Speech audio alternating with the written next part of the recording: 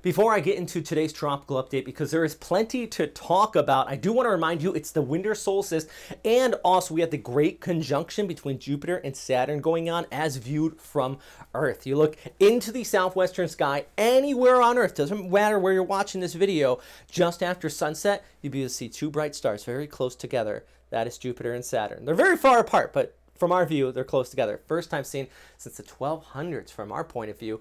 Uh, if you get any photos of it, send me a message on Twitter or Facebook and I'll try to get them in my next video update.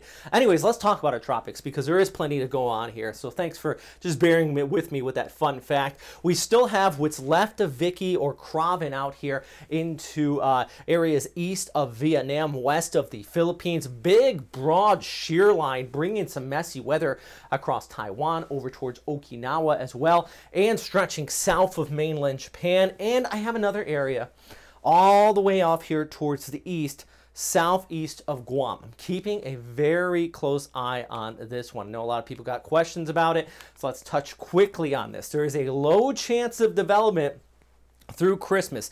I'm not terribly worried about a typhoon, but an increased chance of rainfall for the Philippines Christmas Eve Christmas Day, maybe the day after Christmas. This is actually with the global forecasting system, the GFS model, heading into Christmas Eve. This actually kind of spins up a weak area of low pressure area here. Like I said, it has to stay south of the monsoon though. So this far south, it's going to be kind of a blob. Signs indicate to something similar to what we've seen here with Vicky, with another round of rainfall. And I'm stressing this because it's not the worst storm on Earth right now, but it's bringing additional rainfall possibly heading into Christmas across these areas, which have been seeing severe flooding this past week thanks to the rains brought in by Vicky. So you get some more rain on top of already saturated ground. The ground just can't it can't soak it up anymore. It's saturated. Just imagine if you ran a sponge underwater, then you try to run it underwater again. The, the second time, it just the water's going to flow right around it. It's not going to soak it up. That's exactly what's going to be happening here. Uh, if this does kind of bring in that surge of moisture, which signs, like I said, do indicate from Christmas Eve, Christmas, and this is the day after Christmas with that flow coming in behind it, even seeing some additional rainfall possible across northeastern areas of Luzon as well. So definitely keeping a very close eye on this as we go ahead over the next few days. Meanwhile, the bigger picture, the monsoon continues to dominate eastern areas of uh, China over towards Korea with that high pressure. The effect snow across Japan is starting to finally taper off, but look at this, just beast of a low. That is the Aleutian low starting to spin up out there. That thing is deep. I feel bad for shipping traffic. I digress, but that, I just had to point that out. Look at those winds with that.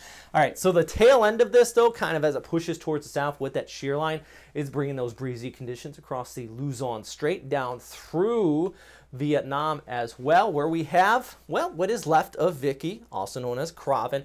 I say what is left because um, JMA stopped warning on this. It's drifting towards the west.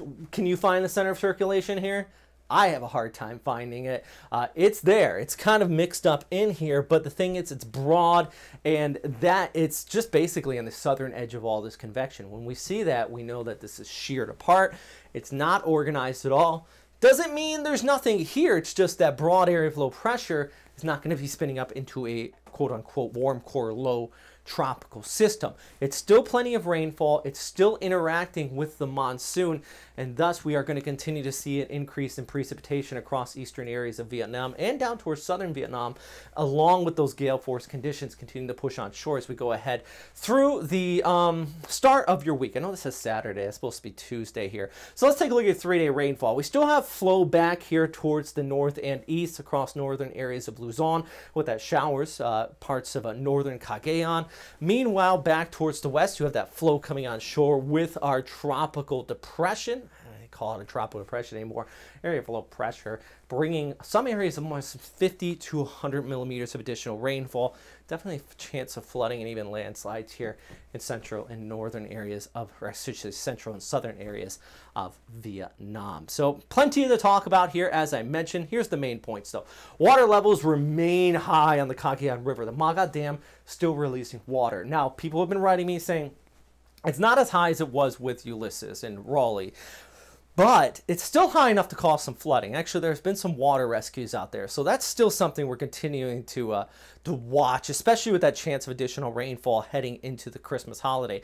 Vicky's continuing the week, and yet still impacting Vietnam. And as I mentioned at the start, there is that Christmas storm in the forecast. All right, any photos, videos of um, anything you see out there, some rough weather share them with me. I always appreciate that. I didn't put any in this one, but I typically do try to share them with you guys as well. Please subscribe to this YouTube channel. I know everybody says that. I know I say I feel I feel cliche saying it at the end of the videos, but it honestly does make a difference as far as the analytics, especially, maybe not with this video, but when we got a major typhoon, the higher subscribed channels get shared out more, and thus the word of a, a major impacting storm can be shared out more. So just do me a favor, do me a solid, hit that subscribe button or hit the like button.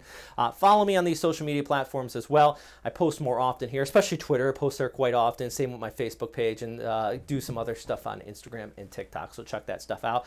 Thanks for watching. Stay safe out there. Check out that great conjunction. It's going to be super cool. I know I'm going to be up all night. I got to work tonight. I work multiple jobs, but I got to work tonight. So I'll be taking a look at that, maybe trying to get some photos myself. Thanks for watching.